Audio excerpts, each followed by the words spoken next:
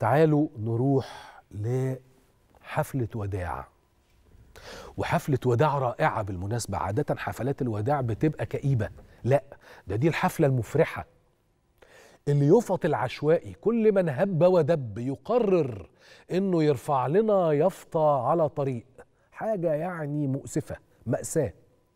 فيتم إقرار قانون هذا القانون يحول دون وضع لافتات بشكل عشوائي على الطرق. خلونا ناخد معانا على التليفون سيادة النائب عمرو درويش أمين سر لجنة الإدارة المحلية بمجلس النواب عن تنسيقية شباب الأحزاب والسياسيين وصديقي اللي أنا أحبه. أهلا وسهلا. صديقي العزيز إزيك يا سيادة النائب؟ عامل إيه؟ كله تمام؟ خير خير والله الحمد لله. سيادة النائب كلمنا عن إقراركم لهذا القانون اللي هو قرار لائحة القانون الجديد اللي أنا سميناه يعني إعلاميا وداعا للافتات العشوائية. آه طيب اسمح لي طبعا برضو أنضم لصوتك يعني ونتمنى الشفاء العاجل للفنان القدير سمير صبري. إن شاء الله يعني. الأمور تمشي على خير. وربنا يمتعه بالصحة والعافية. اللهم آمين. ال- القانون اللي حضرتك تحدثت عنه هو قانون تنظيم الاعلانات على الطرق العامة. هو رقم 208 لسنة 2020 هو أصدر طبعا من فترة لكن حتى هذه اللحظة اللائحة التنفيذية بتاعته لم تصدر.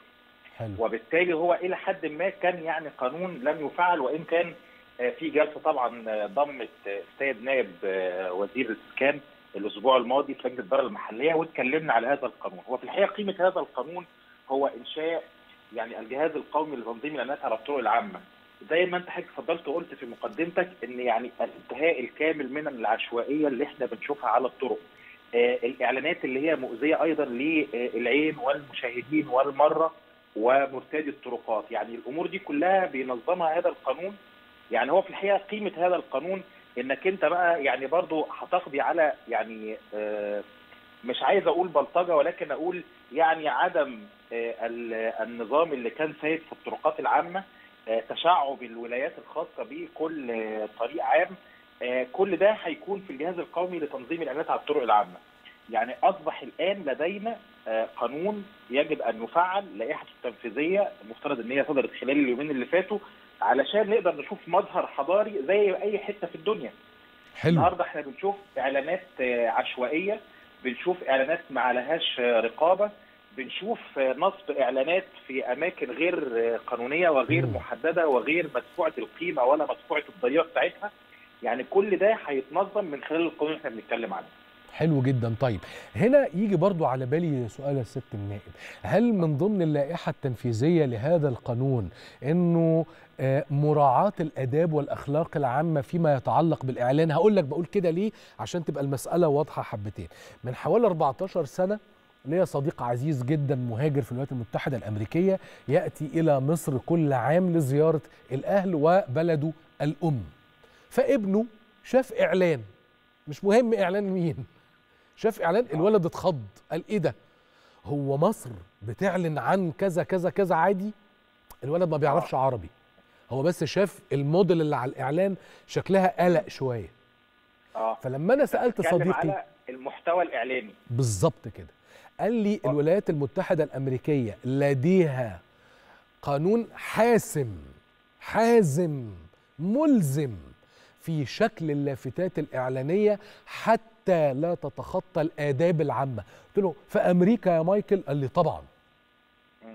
هل إحنا آه عندنا طبعاً، حاجة شبه كده. آه طبعا. آه طبعا. بشكل قاطع يعني القانون ده جه عشان ينظم هذه المسائل. في عظيم. كل في كل ما حضرتك اتفضلت واتكلمت عنه سواء كان المحتوى أو كان كمان في آه، آه، التراخيص اللازمة. أيوه. ويمكن ده مهم جدا جدا. عشان نقول بقى تفعيل قوة القانون هنا تفعيل تفعيل إرادة الدولة إن يجب القضاء تماما على العشوائية ويجب ضبط المحتوى برضه. لأن مم. أنت المحتوى بالنسبة لنا مهم. أنت عارف طبعا طبيعي المجتمع والثقافات اللي موجودة في المجتمع قد لا تتفق مع العديد من آه، الشكل الدعائي اللي بنشوفه في الخارج. آه،. ده من ضمن مهام آه، المجلس القومي لتنظيم الإعلانات. يعني ده مهم وهيبقى موجود. أتمنى بس زي ما قلت لك إن إحنا نفعل القانون إن يبقى في رقابة على تفعيله إنك توحد أيضا جهات الولاية علشان يبقى في عملية تنظيم. الإعلان اللي أنت اتكلمت عنه يا يوسف ده هو نتيجة العشوائية. آه. قد يكون الإعلان ده موجود في حتة آه، ما مرتش عليها يعني الجهات التنفيذية عشان تراقبه آه، ممكن يكون كان موجود آه، بشكل عشوائي. المفترض إن ده هيختفي خلال الفترة اللي جاية. كويس وأنا. واثق بالمناسبة إن إحنا هنلاقي ده يعني الدولة بإرادتها القوية هتقدر إن هي توصل لشكل منضبط لمسألة الاعلانات على الطرق العامة. في نفس الوقت برضو مهم جدا إن إحنا نقول إن بالتواكب مع التنظيم الخاص بالاعلانات على الطرق العامة مهم جدا إن يكون في تنظيم داخل المحافظات ودي ولاية المحافظين والمحليات. علشان النسق الحضاري والكود المصري اللي إحنا كنا بنتكلم عنه خلال الفترة اللي فاتت تقدر تشوفه. بمعنى الحفاظ على هوية المحافظات ده مهم. بجانب برضو الحفاظ على مسألة الإعلانات على الطرق العامة. أنا في الحقيقة متفائل جدا من القانون، الجلسة اللي عقدت في الإدارة المحلية كانت جلسة مثمرة جدا. استمعنا طبعا آه، لرأي الهيئة العامة للطرق والهيئات اللي ليها ولايات على الإعلانات على الطرق العامة وبرضه سمعنا ملاحظات المحافظات. مهم جدا اتفق الجميع إن لازم يكون في منظومة موحدة سواء الإعلانات داخل المحافظات والأقاليم والدلتا طبعا واسكندرية وبحري والصعيد ويبقى فيها هوية وكود وفي نفس الوقت برضو الطرق العامة تكون داخل هذا الإطار. فأنا. متفائل في الحقيقة نتمنى بس إن التفعيل يكون أسرع من كده بشوية. يا مسهل. أدينا بنضغط أهو. مش مجلس النواب بيضغط؟ والله يعني إحنا بنحاول على قد ما نقدر وأنت. زميلنا يعني. لكن أنا الحقيقة. زي ما قلت لحضرتك أنا متفائل جدا. وشوف بص يا يوسف إحنا بالنسبة للتشريع المساله التشريعية مسألة منضبطة جدا في مصر.